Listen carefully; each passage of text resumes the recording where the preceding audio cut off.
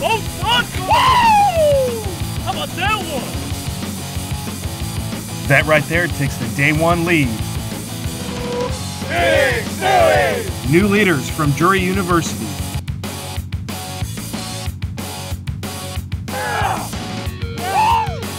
Way to go, there's your first place team. Hey there, everybody. Welcome into the latest episode of the Rapala We Are Collegiate Bass podcast. I am your host, Kyle Curry, being joined today by anglers from James Madison University, Tyler Nicol and Bowl Bo Howland. Bo was the club president for the team here over the last couple years. Tyler took over those duties back in the fall of 2021 right now, guys, we're going into the spring of 2022. Y'all just started your first week of classes there at James Madison. Tyler, we'll bring you in here for the first question, man. What's the excitement amongst the team? You know, getting back to school. Sometimes that can kind of be a bit of a drag. Nobody wants to go back to class. It's not that much fun. But man, you got a new season on the horizon. Opportunities to go fish. Spring's right around the corner. It's going to start warming up. Talk about the excitement for the spring semester for the team at James Madison. Oh, we are just absolutely pumped at James Madison right now. Uh, we have four boats ready to go.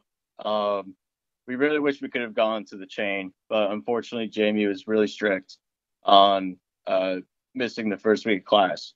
So we are really excited for February 24th, 25th for uh, Lake Chickamauga in Tennessee. And we definitely plan on doing more after that. Got a couple of tournaments lined up that we're really excited to do. Uh, Smith Mountain Lake is kind of a little bit of a home turf. And there are two with MLF that we are really excited for too. That's awesome. The new excitement of the new season always brings a lot of joy. And for us at the ACA with the Bass Pro Shops Collegiate Bass Fishing Series, the School of the Year race, Bass Pro Shop School of the Year presented by Abu Garcia, we're about halfway done. But even still, flipping over to that second half of the season is really exciting. Being able to look at the calendar, that's one of the good things for especially schools into the Midwest up north once you start getting to come down here to the south and fish, you know that it's about to thaw out wherever you live, and it's going to be time to hit the water on your own home lakes here really soon. But we'll bring you in here, club president for the last couple years, as we mentioned at the start of the show. You you've been a integral part of the team there, James Madison. Talk about your experience a little bit and what you've seen in the growth of the program, and and as you've worked with it over the last two or three years, how how the team has matured and grown, gotten more experience, and and just had a good time um, bonding over the opportunity to go fishing. Oh, it's been such an awesome experience being president over the last couple years. Um, you get to surround yourself with guys who just love fishing as much as you do and grow your network based on that. Uh, COVID did hit us pretty hard. The school completely shut us down from fishing tournaments until last spring, but the bounce back last fall semester was awesome. We grew the club exponentially on the competitive team, and we call it the recreational side we also open up the club to people who don't competitively fish, but just enjoy bass fishing and any type of fishing in general. And we do small camping trips or trip to trips to lakes around here. So we've kind of blown that up last semester and are carrying that through. And it's been an honor to see it grow we've heard a lot of success stories like that coming out of COVID over the last couple years as we're still in it. But when it first started, everybody was at home. You had opportunity, you know, some of the few things you could do that were safe and approved by whomever might be telling you what it is you need to be doing to be safe and avoid the virus was get outside and go fishing. Get on a lake, get on a boat, take to the water. And we've seen it across, you know, whether it's sales at stores and, and sporting goods to anglers getting out and competing like at the AFTCO Open for us this past fall. We had the biggest turnout we've ever had at that event. We had over 220 boats. We're talking to coaches and anglers and like, yeah, we can't recruit enough kids to come to our campus to fish. People are out in the outdoors. They're loving it and really getting that opportunity to go do so. So that's really awesome to hear the growth that's happening with the team there James Madison. Tyler, talk a little bit more to us about the team itself. You guys do a good job. We had University of Central Florida on here recently, and they were talking about all the different things they do in and amongst their program to help people run the social media page and give them growth inside the industry.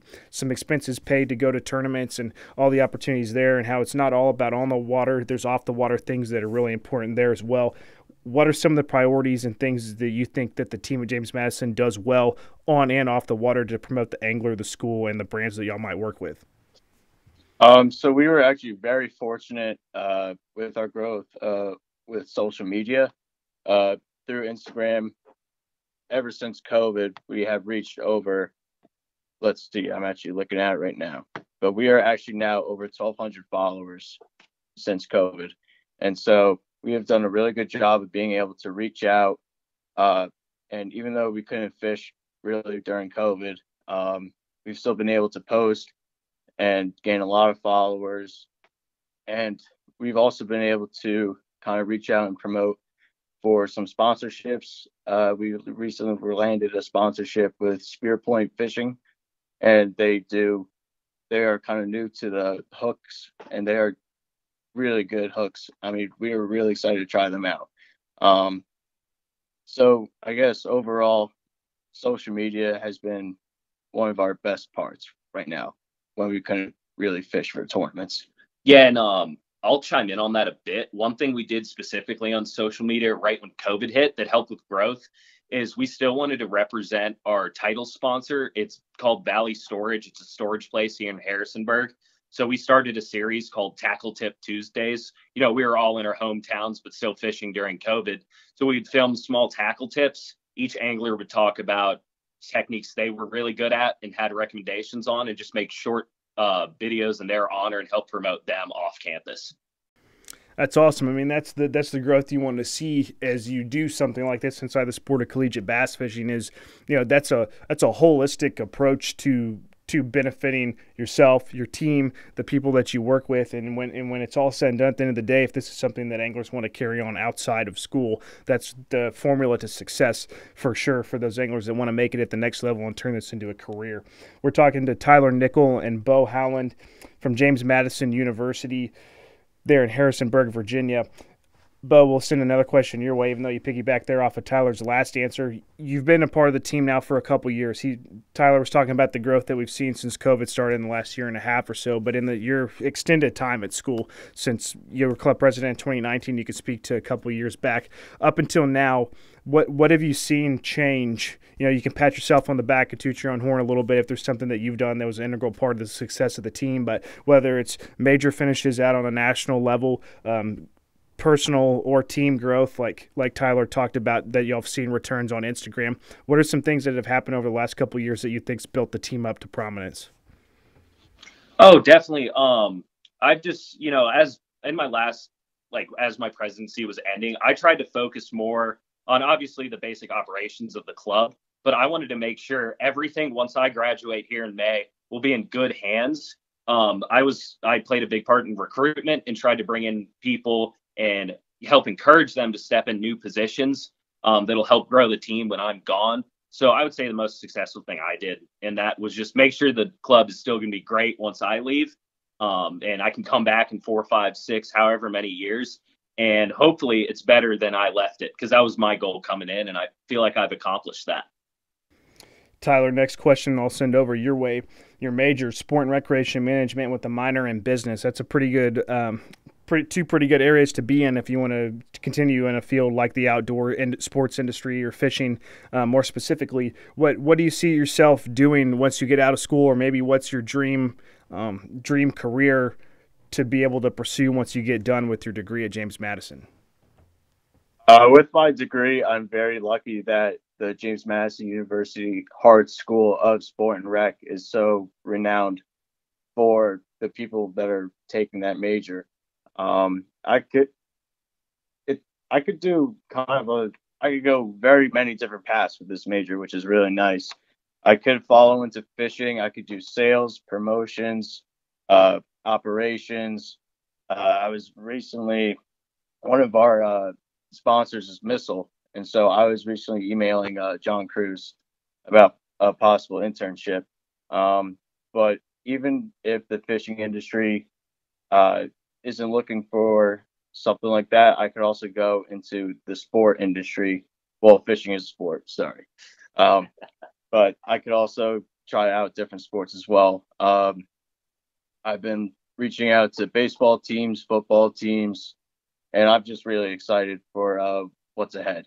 But right now, I got to focus on the team, focus on uh, kind of sustaining what we have going on at James JMU That's awesome. I think for any college kid, some of the best advice that you can get from anybody, whether it's your own peers or or even elders, is man, if you're something that you love that you like to do, and you're able to pair that together with your degree as a as a job or a profession, that's some of the most rewarding time that you're going to spend in in the workforce in the professional field, going out and doing stuff like that. Um, for me, specifically that's i mean i worked in local news for a couple years. It was a job. It paid the bills. I got good experience. But once i got the transition over into working here at careco tv and helping with the college series and being around fishing and hunting and everything that comes with that that's some of the best time that i've spent in my professional career the last couple years has been here. And it's rewarding. It's fruitful. It's it's tough work sometimes and we stay busy. But when you are busy and, and you're overwhelmed knowing that you're doing something that you love it really pays back.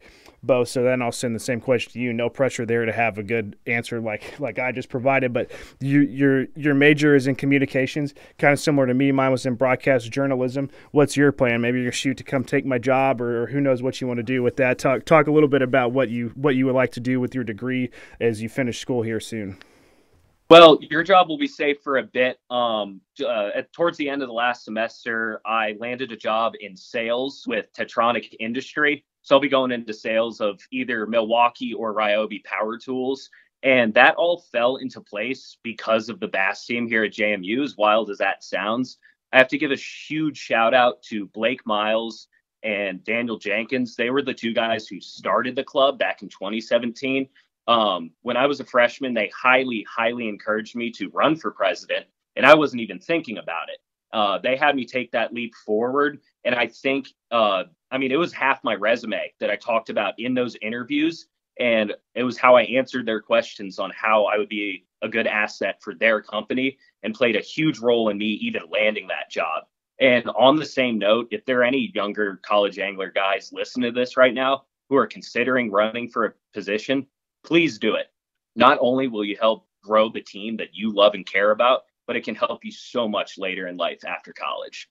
Yeah, that's awesome. Great advice there. Former club president here myself for a year or two at the University of Arkansas when I was in school up there. And yeah, you learn you like things that I do now as we're reaching out to companies and try and build partnerships and stuff like that. 10 years ago when I was in my dorm room as a sophomore in Fayetteville, I was doing the exact same stuff and it builds upon itself and you learn valuable tools that you're going to be able to use down the road. You just don't know it while you're doing it how how important it is to the future of your career. Tyler, let's talk now. I'm going to end with two questions, one to you and one to Bo. Let's talk about the team as we go to wrap up this interview real quick provide a little bit of a sales pitch somebody that's looking to come into James Madison or maybe they don't even know about James Madison but they want to fish in college. What can you tell to them as a little bit of a recruiting sales pitch as to why they should come to Harrisonburg and be a part of y'all's team? All right. Um, so my sales pitch for someone out there listening uh, definitely definitely take a look at James Madison University.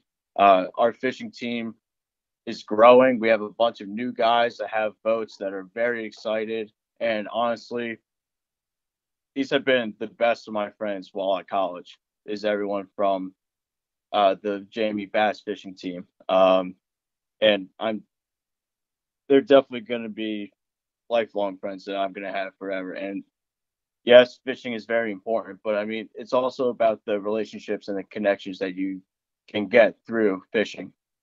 And I'm just glad that I joined. Just as simple as that. I don't know where I'd be without the JMU Bass team. Uh, huge shout out to Cooper. He's the one that got me onto the team, Cooper Casillas. Um, and I mean, I I'm just at a loss for words, but I'm just so so glad I decided to do this. Yeah, I think I could say that I've never really talked to anybody that's ever regretted the opportunity to be a part of a college fishing team in college, other than maybe you missed an important quiz while you were at an event, or or your your GPA might have suffered by just a little bit. But otherwise, man, there's a lot of good, positive things that come from it, and, and just a lot of good stories, lifelong mem- friendships, and things that that they're going to last a long time and be of significant value and importance in your life. Bo, if anyone's wanting to be a part of the club, get more information, become more involved, you know, Instagram page, where all can they find you guys to be able to reach out and get connected?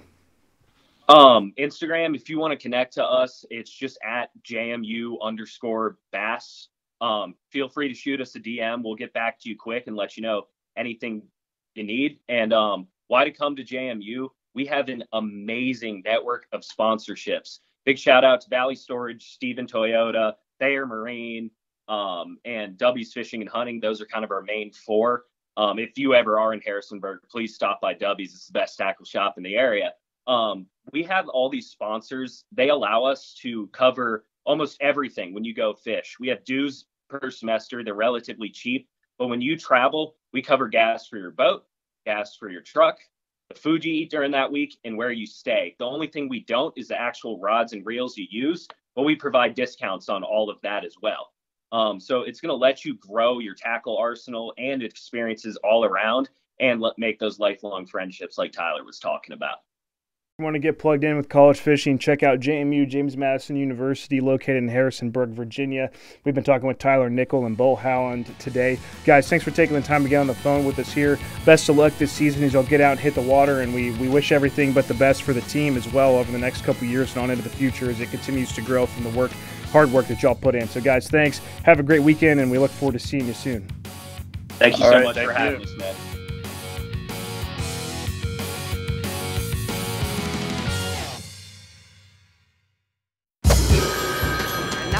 We need next quarter so that we can keep on to everyone. Yeah? Stop working right now! Look outside. Is this spreadsheet weather? No, it's not. This is fishing weather, so stop clicking, get out there, and catch a bass.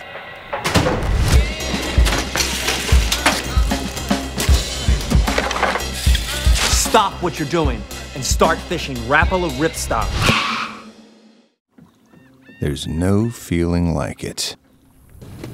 When you prep the gear,